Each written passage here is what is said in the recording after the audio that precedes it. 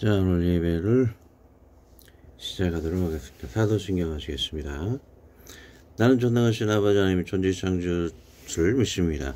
나는 그 유일하신 아들 우리 주 예수 그리스도를 믿습니다. 그는 성령으로 잉태되어 동정녀 마리에게서 나시고 본토의 빌라도에게 고난을 받아 십자가에 못 박혀 죽으시고 장사한 지 사흘 만에 죽은 자 가운데서 다시 살아나셨으며 하늘에 오르시어 전능하신 아버지 하나님 우편에 앉아 계시다가 거기부터 살아있는 자와 죽은 자를 심판하러 오십니다. 나는 성령을 믿으며 거룩한 공교의 성도의 교제와 죄를 용서받는 것과 몸의 부활과 영생을 믿습니다. 아멘. 찬양을 하겠습니다. 좀 어려운 곡 같아요. 제가 연습을 해봤는데 아마 새로운 곡이니까 의미를 생각해가면서 나누겠습니다.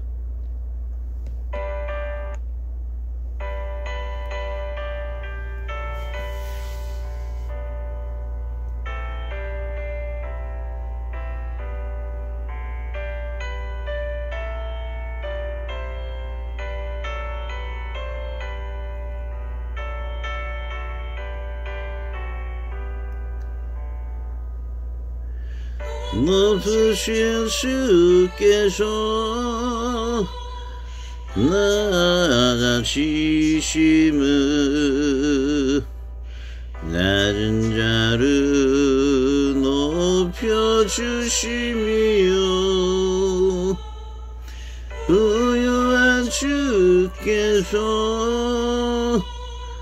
가난해지심은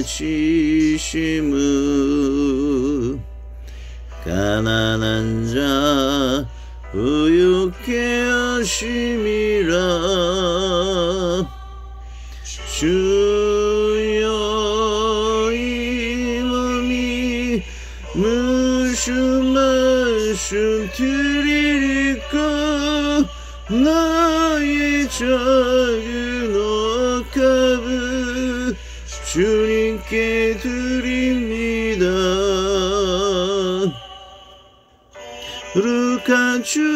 주께서 겸손하셔서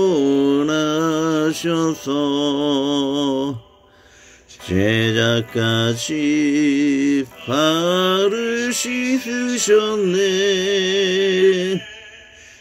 역시 흘리신 십자가 보혈을 죄 하심이라 주여 이 몸이 무슨 말씀 드릴까? 나의 자유 억압을 주님께 드립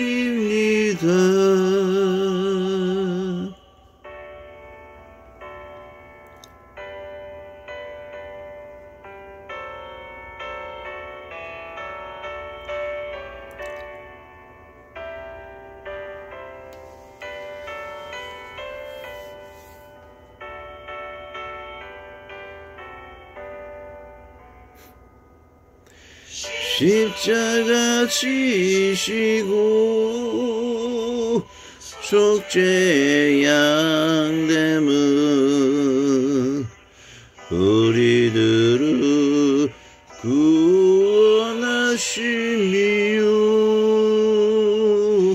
감당키 어려운 그 크신 사랑을 깨달으며 따르게 하심이라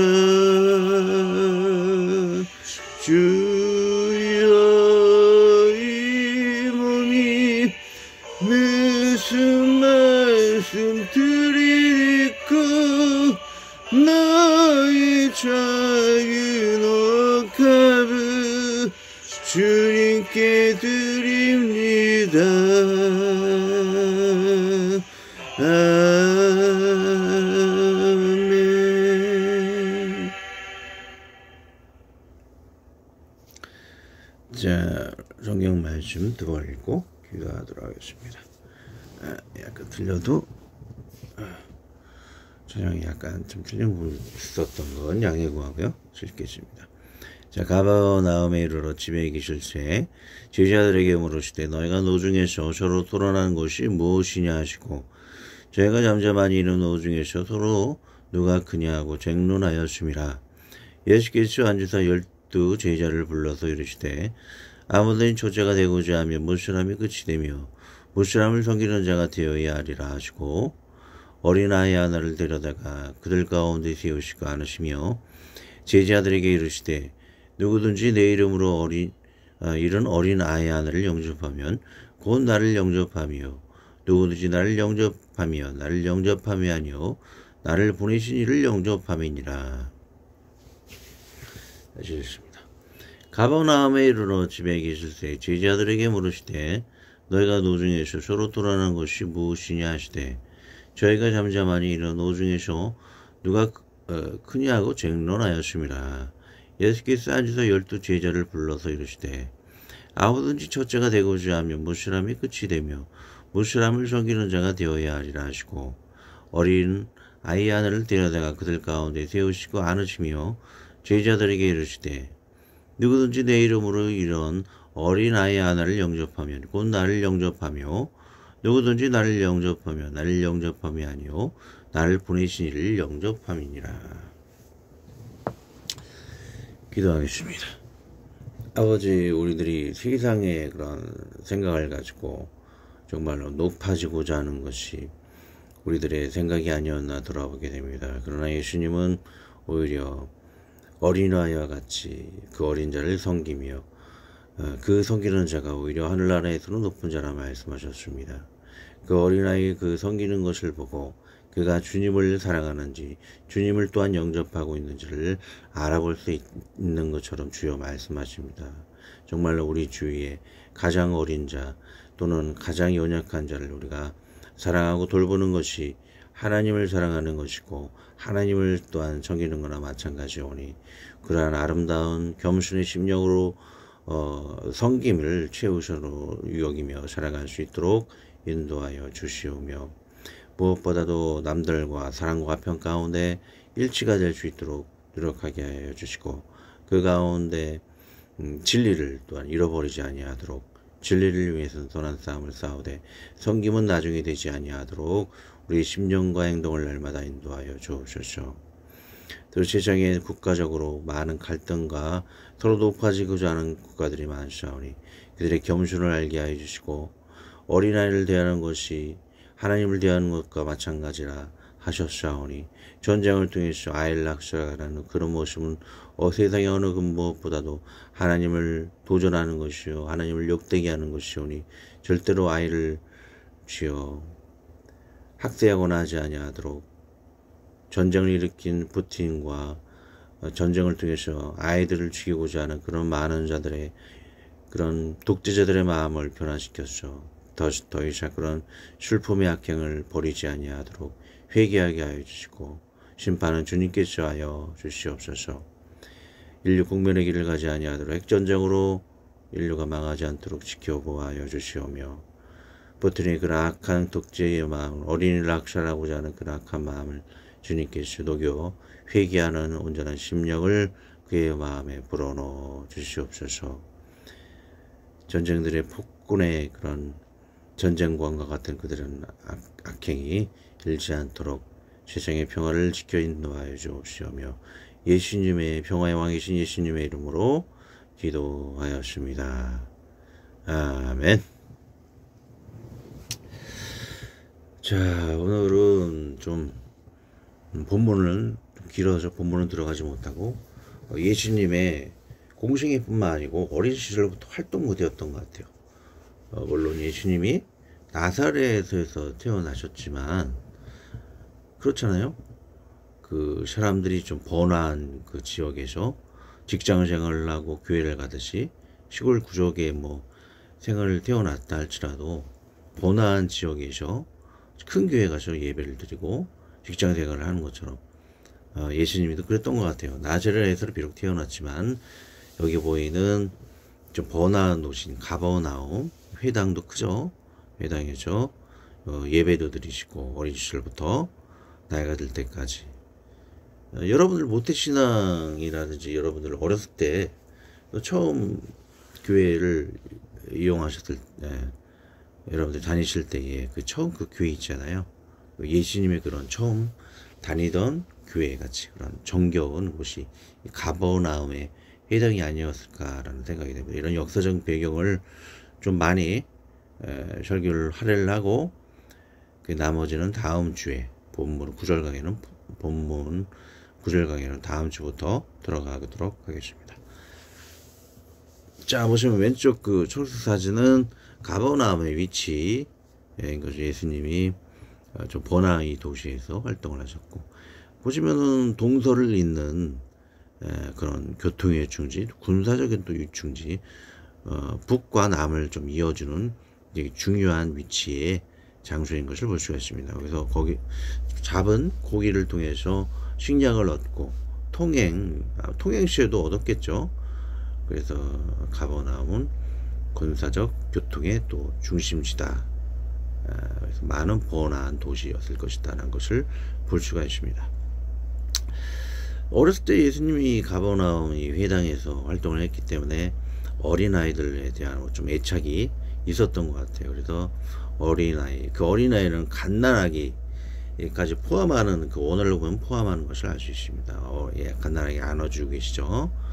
그래서 이런 어이, 아이를 대접하는 것이 바로 나를 대접하는 것이고 나를 대접하는 것이 하나님을 대접하는 것이다 라면서 겸손의 정김을 굉장히 중요시하고 계시는 것이죠. 국가 간의 전쟁도 마찬가지예요. 항상 아이를 홀대히 여겼던 그런 독재자들은 비참한 죽음과 하나님의 심판이 있었던 것을 볼 수가 있습니다. 애굽의 왕이 나중에는 홍해에서 죽게 되었죠. 홍해 이스라엘 어린아이를 남자아이를 학살했던 것이 그 바로 왕이었었죠. 음, 분명히 성, 성경이 나와 있어 모든 사람 홍해를 걸어다가 다 몰살당했다고 했기 때문에 바로 왕도 분명히 비참하게 익사에도 죽었겠죠.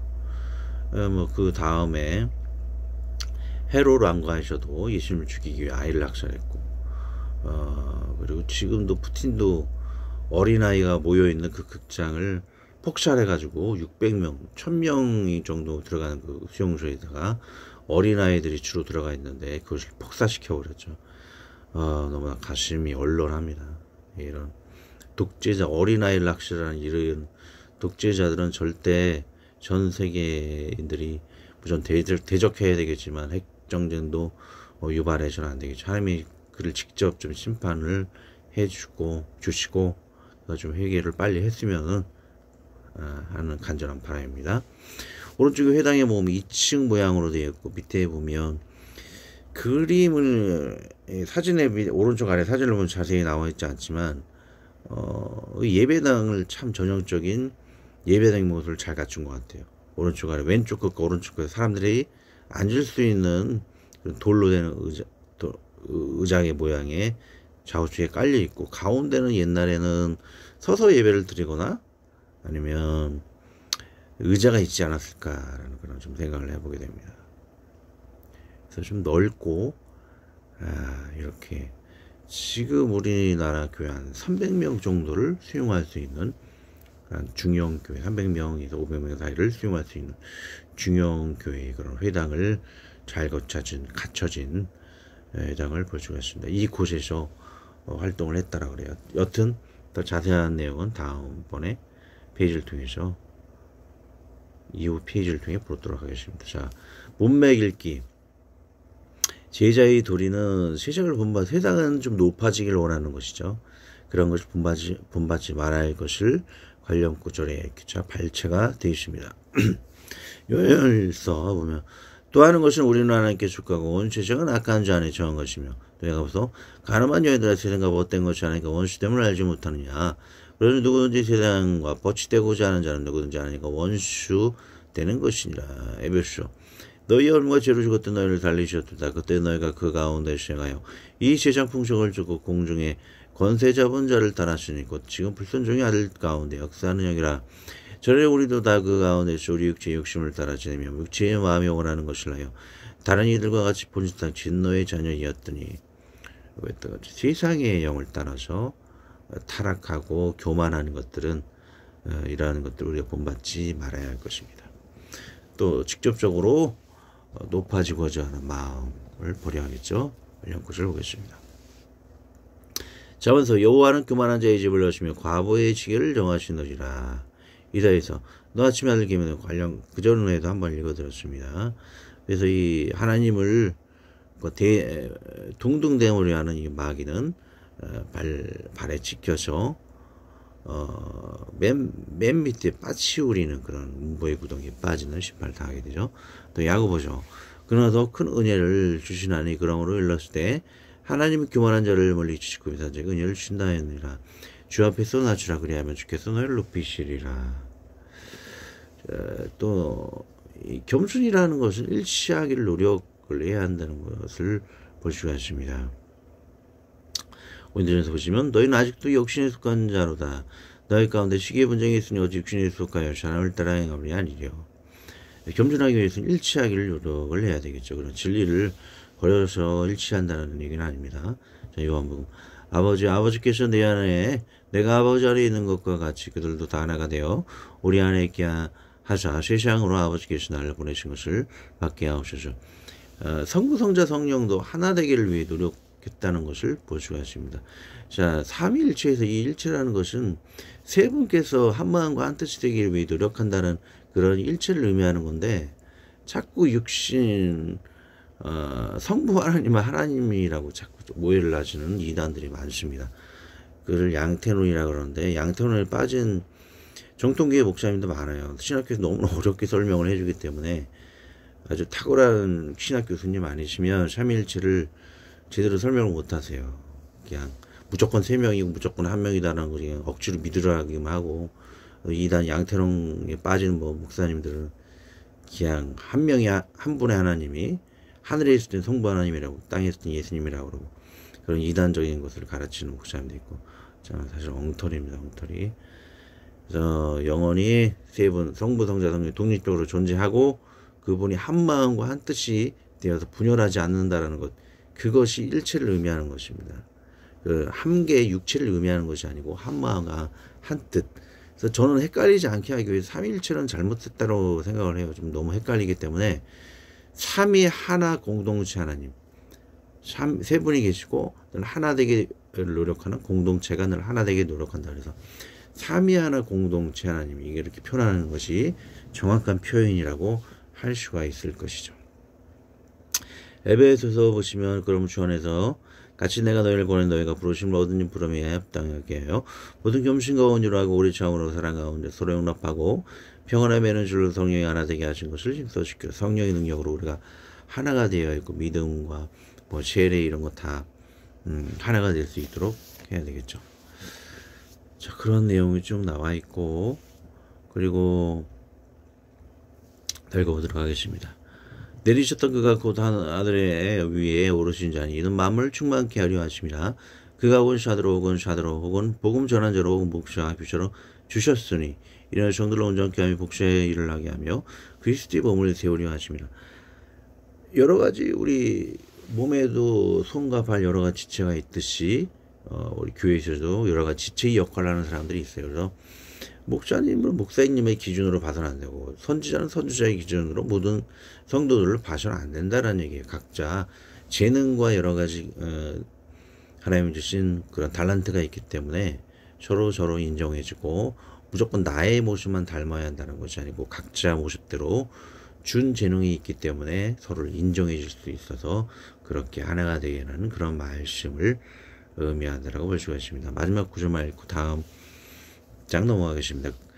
소모의 각마디를 통하여 도움을 입음으로 연락하고 창합하여 각 지체 분량대로 역사하여 그 몸을 자라게 하며 사랑 안에서 스스로 세우느리라 사랑으로서 일치를 도모할 수 있는 것이죠.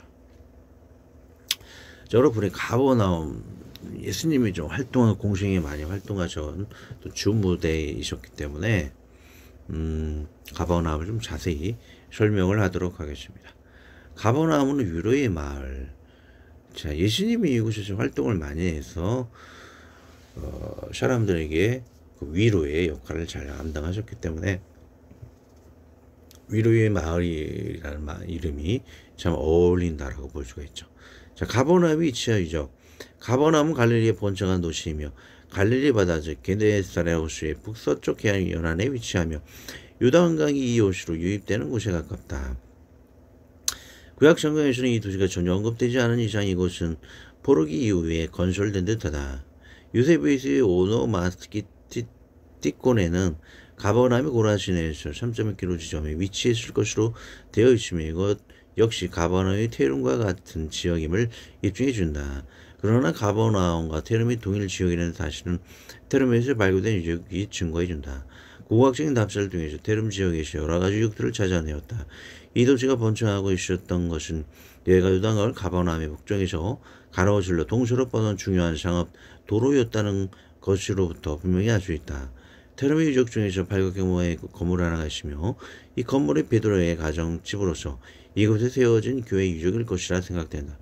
팔각금명 건물이라는 거는 어, C 채널 제가 마지막에 보이면 링크를 걸어놨기 때문에 한번 시간 내서 그 C 채널의 이강근 박사 고라신과 가버나움 그 편을 한번 보시기 바랍니다. 팔각형 모양의 건물이 하나가 있죠. 그 건물의 밑에 부분 유적이 베드로의 터가 베드로의 집터가 아닌가라는 그런 생각을 해보게 됩니다. 그러나 테르메 유적 중 가장 인상 깊은 것은 팔레스틴에서 가장 잘 보존되어 있는 회당의 유적이다. 윌슨이 1860원에서 1860년에 발굴했을 때 그것이 보검수에 기록된 건물인 줄 생각했으나 1905년 콜고와 와친거에 의해 발굴 연구에 의해 확인된 것은 그것이 예수님 당시에 회당 장소에도 있으나 건물 자체는 3대기의 것이었다. 물론 이 회당은 누가복 7.5절에 기록된 대로 예수님께서 가버나움에 가셔서 전도하실 때 사용하셨던 회당 바로 그 자리에 지은 것으로 생각된다. AD 385년에 에, 실비아가 쓴 우리 주님께서 회당에 가까이 가시다에 나오는 상세한 묘사의 기록이 놀랍게도 지금 이곳 테룸에서 발견된 회당으로 올라가는 거리 과정과 잘 조화된다. 회당은 흰 석회석으로 지어졌으며 1층 높이의 훌륭한 건물이었다. 회당 내부는 원주의 열에 의해 20m, 폭 8.2m의 중앙 골마루와 동북서 세 방향에 있는 측면 본당으로 구성되어 있었다. 북서쪽 모퉁이의 부속으로 2층 계단이 있었고 예루살렘을 향해 남쪽 끝에는 돌로 만든 덮개가 있었다. 그리고 뜰에는 의, 의식용 물 항아리가 있었고 주랑아래는 학교와 빈미를 위한 축박초가 있었다. 이 회당의 장식은 유대 율법을 넘격히 따르지 않는 것이 특성이다. 여러 가지 동물들의 모습을 신화적 기하학적 모습으로 특히 기하학적인 모습일 것을 마술적 어, 상징으로 보인다. 이러한 장식은 유, 당시 유대교 성경을 반영하고 있다. 라삐 문학으로 가보나움을 가보나움을 미님 예, 바리세파가 이단으로 전승을 구사하는 학파라 그래요. 네. 미님의 좌또는 분파의 물이라 불렀다. 한 기둥으로 당겨가지 아람어로 생긴 흥미로운 글귀가 발견되었다. 요한의 아들 시베대의 아들 아페어가 이 기둥을 만들었다. 그에게 축복이 있으라. 아마도 요한과 야고보의 시베대의 가족은 이 도시에서 널리 알려진 사람이었던 것 같다. 좀 부유한 어, 요한과 야고보는 부유한 집안이었었고 요한과 예, 야고보 그 집안이 그 기둥을 만들었다라면 분명히 예수님 당시에 활동하고 예배 드렸던 회당이 바로 이 회당인 것을 우리가 추측을 해볼 수가 있을 것입니다. 신약 성경 자 복음서에 의하면 가버나움 매우 중요한 성읍이었다. 가버나움은 당시 번창한 도시 세간이 있었다. 가버나움에는 왕의 신하의 집이 있었다. 또 가버나움에는 유대인을 위한 회당을 지어준 백부장도 자기의 부대와 함께 주재하였다. 베드로와 안드레는 부르심을 받기 전부터 가버나움에 전하시며 예수님을 만나 영접했다. 예수님 나사렛에서, 나사렛에서 피청을 당하신 후에 가버나움을 갈릴리 전도의 본부로 삼으셨다. 그래야 가버나움은 예수님의 둘째 고향이 되었다. 예수님께서는 이 가버나움에서 어부들을 제자로 부르셨고 어, 마태가 세간에 앉아 있을 것을 있는 것을 보시고 제자로 부르셨다. 그리고 예수님께서는 여기 있는 외당에서 가르치셨으며 성전세 반세기를 내게 하셨다. 예수께서 가버나에서 많은 이정을 행하셨다. 예수님께서는 여기서 중풍병 걸린 백부장의 아인 왕의 신하의 아들의 병, 베드로의 장모의 열병, 네 사람이 메고 온 중풍병자, 더러운 귀신 들리는 사람, 그 밖에 많은 병자를 고치셨다. 예수님께서는 예수님의 가르침과 행실에도 불구하고 이 성읍 사람들이 회개하지 않았으므로 이 성읍이 완전히 멸망될 것을 예언하셨다. 가버나와 내가 하늘에까지 높아지기니라 우부에까지 낮아지라. 내게서 행한 모든 권능을 쇼돔에서 행하였다면 그 정이 오늘날까지 있었으리라. 내가 너에게 이르노니 심판날의 소돔 땅이 너보다 견디기 쉬우리라. 이와 같이 주님께서 이 성읍에 대해서 예언하신 말씀 문자 그대로 이루어져서 가버나운 본래의 모습을 찾아보기 어려우며 앞에서 지적한 바와 같이 다만 지금 고고학적으로 발굴된 테룸 지역이 이 가버나움과 동일시 될 뿐이다. 어쨌든 예수님은 바리새인 기득권 세력들에게 이단으로 취급을 받으시죠. 지금 이단들이 이것을 잘 인용, 인용해서 자기 이단됨을 자꾸 변호하라는데 그건 틀린 것이죠. 어쨌든 에, 구약과 신약이 일치된 그 예수님을 정통인 것이죠. 그러나 오히려 이단인 바리새인들이 예, 예수님을 이단으로 몰았던 것을 볼 수가 있습니다. 지금 많은 이단들은 예수님 신약과 일치, 삼일치를 부정함으로 자기를 예수님과 같은 위치를 해버리기, 때, 해버리기 때문에 많은 이단들은 정말 이단입니다. 좀 구분을 잘 우리가 헤아려야 하겠죠. 주품이주 단센 묵상 블로그 제가 참조했습니다. 자, 고대에는 다마스커스에서 예루살렘으로 가는 해안 길목에 로마 군대가 주둔해 있었고 세관도 설립되어 세금을 징수한 교통의 중심지였습니다. 바다의 폭풍이 일때면 방파제로 둘러싸인 폭우에 폭우를 피해 고기잡이들이 떼져 있었다고 합니다. 예수님의 집이 있는 지역과 가깝다고 하여 이 근처에 당해서 어, 예수님께서 직접 설교하셨고 예수님의 어린 시절 정령 공청회 주로 활동한 지역이며 이 지역에 석회형으로 지은 회당의 유적도 지금도 남아 있습니다. 호수적으로는 베드로의 집도 발견이 되었으며 예수님의 첫 제자들 베드로, 안드라, 야고보, 요한, 세리, 마테를 불러들이셨으며 많은 기적을 베푸셨습니다. 어쨌든 예수님이 그 활동했던 주무대는 맞고 그 회당이 맞고 그좀 업그레이드해서 3대기에 또 더 좋은 회당이 지어지지 않았나 그런 추측을 해보게 됩니다. 자, 무스라람 좀 빨리 가겠습니다. 무스라람이는 온갖 모든 이죠. 주피미주를 보면 무스라람이 끝이 되어야 한다 하면 모든 사람이 끝이 되는 겸손을 의미합니다. 진리에는 지지 않아야 하지만 성김에는 모든 이 앞에 최고가 되어야 하겠습니다. 어린아이는 그냥 어린아이뿐만 갓난아이까지 포함하죠. 주품을 보시면 하나님의 말씀 듣는 데는 남녀노소 가릴 것이 없습니다. 놀랍게도 예수님께 전례 때 분리되지 말기를 명하신 사람은 바로 갓난아기 어린아이였다는 것입니다. 자꾸 부설 나눠 세상 방식으로 교회를 쪼개 가르치는 것은 비유율과 낭비를 불러들일 것입니다. 정부교육자를 받아들인다면 담임 목사의 성대를 위해서라도 새벽 예배나 수요 예배, 전화 예배인 찬양인도 정도는 분담을 하는 것이 교육자를 양성하거나 체력 분담을 위해 좋을 것입니다. 모든 예배가 안쓰이긴 하지만요. 자, 영접하다는 좀 넓은 의미가 있더라고요. 그래서 자, 받아들이다 뿐만 아니고 환대하다, 기뻐하다, 또 상대를 이해하다까지도 의미를 많이 포함하고 있습니다. 또 기뻐하다는 의미까지 가지고 있죠. 어, 좀 일찍 가도록 하겠습니다. 자, 지혜 문화에서 데코마인 지적으로 실존적으로 개방되고 수용적인 경고하는 사람 생활태도를 표현하고 있다. 즉, 지혜로운 사람의 생활태도, 어, 를 지혜로운 사람은 지혜의 말씀을 받아들이며 계명에 유의하며 징계를 달게 받으며 지식을 받아들임 것 그리고 어, 지속적인 그런 비판을 또 수용할 수 있 고 선을 행함으로 어, 의로운 길을 시작하는 것 이것이 영접이라고 할 수 있을 것입니다.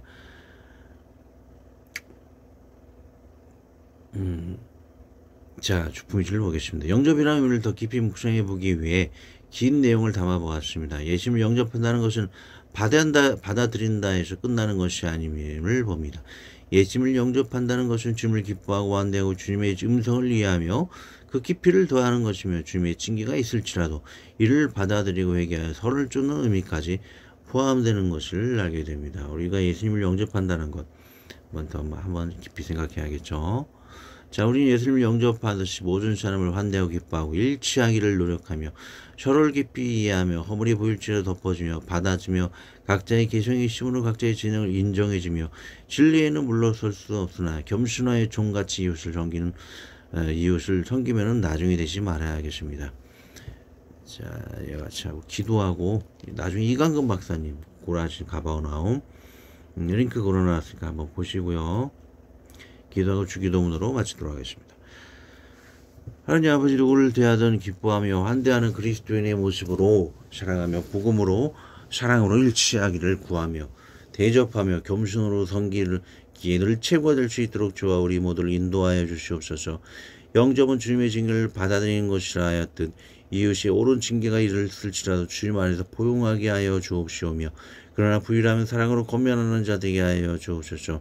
가바나움의 어린 시절 활동하였던 아름다운 회당처럼 활공교회도 온라인 오프라인 만껏 복음의 구령 신앙으로 영혼을 구원하는 일을 위해 아름다운 터를 이루게 하여 주옵소서. 우리 주 예수 그리스도의 이름으로 기도합니다. 아멘. 하늘에 계신 우리 아버지, 아버지 이름을 거룩하게 하시며, 아버지의 나라가 오게 하시며, 아버지의 뜻이 하늘에서 같이 땅에서도 이루어지게 하소서. 오늘 우리에게 이루어질 양식을 주시고, 우리가 우리에게 젊던 사람을 용서하여 준 것 같이, 우리 죄를 용서하여 주시고, 우리를 시험에 빠지지 않게 하시고 하게서 구하소서. 나라와 권능과 영광이 영원히 아버지의 것입니다. 아멘.